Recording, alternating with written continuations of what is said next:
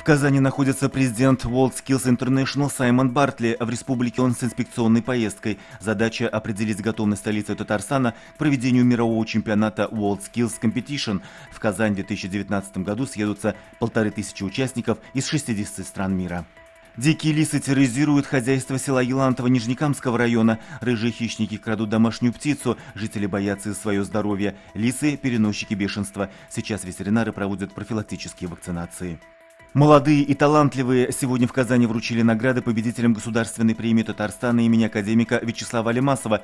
Премия учреждена указом президента Татарстана в 2014 году. Ей отмечают лучших молодых ученых за достижения в инженерных науках.